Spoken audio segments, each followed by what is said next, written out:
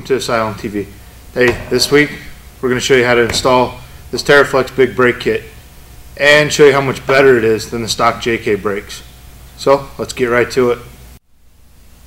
Alright, first we got to remove all this old, old stuff. I'm going to start by taking the caliper off. It's two 13 millimeter bolts, takes two seconds to get off. Then once you remove the caliper bolts, you want to pull it off and just set it to the side. We're just going to set ours right here. Normally you can hang it by a hook, hang it somewhere up out of the way. You don't want to put the tension on the brake line. So we're just going to set ours there. Remove your pads. And there's two 21 millimeter bolts back here that you're going to want to pull out to remove this bracket. Once those two are removed, you're ready to pull your bracket off and your rotor comes right off with it. Alright, now we've got our factory rotor, caliper, and caliper bracket removed. We're ready to put the new stuff in. We're going to take the new Teraflex rotor. Try to keep your hands off of the rotor surface. You're going to clean it anyway. You're going to find the correct bolt pattern and it slides on just like so. Then you're going to take the caliper bracket. Teraflex supplies you a new one to fit their caliper. You can place it back on. Using the factory hardware, you're going to bolt it back up. Alright, now you're going to install your pads from Teraflex. Start using the blue disc brake quiet. These have already got a self-adhesive pad on them. You peel off the backing and you install them that way. And they're very simple to put in. They just slide into the grooves just like any other normal brake pad.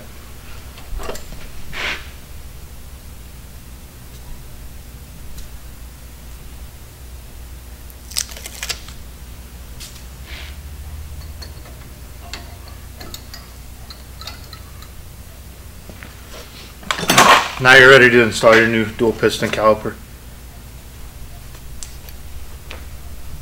Slide it on right over the brake pads. You have to press them in a tad bit. And you start your your caliper bolts.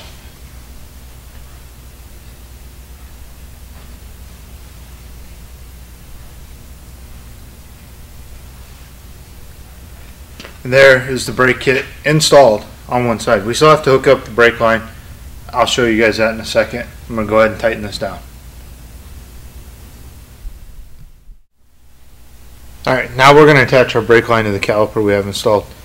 Key point is Teraflex provides you with two brand new copper washers. Anytime you take your brake line off the caliper, never reuse these washers. They're cheap enough. Replace them. Always take them and get new ones when you take your brake line apart. So, we're going to take our brake line off our stock caliper here.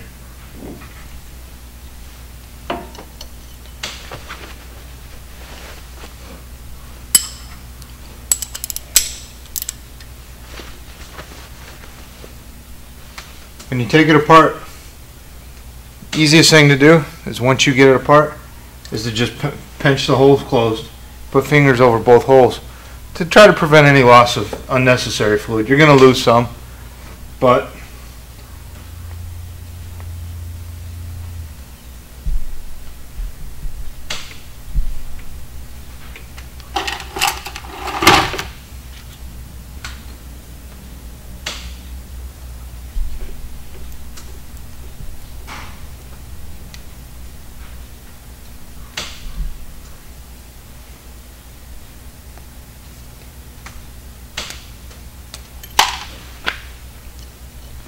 Alright, so on your new copper washers, one goes on each side of the little banjo bolt.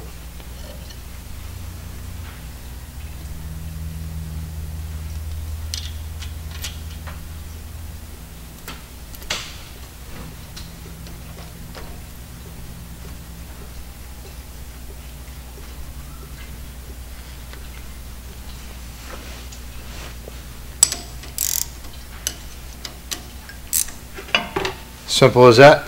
Now we'll do the other side. We'll bleed the brakes and this job's done. Alright, here I'm going to do a side-by-side -side comparison of the stock versus the Teraflex. As you can see, the rotors themselves are substantially larger. These rotors have been on my Jeep uh, about 50,000 miles and not only are they completely grooved, they actually have stress cracks in the face of the rotor from me working them too hard. I drive my Jeep like a race car, so I expected to stop like one. With this setup, it's not going to do it. Not only that, the actual pads. These pads have less than 10,000 miles on them, and they're completely busted in half. Didn't hold up very well to the challenge of stopping 5,000 pound plus vehicle. Okay, both sides are done. All that's left is to bleed this vehicle. We're not going to do that today because I'm going to change the master cylinder as well. But the actual big brake install, about an hour, hour and a half's worth of time. Any person can do it in your driveway. It's very simple, very easy procedure. Teraflex has very good, well-written instructions that come with the kit. Very worthwhile kit to install. And we'll let you know how it is once we get it on the road.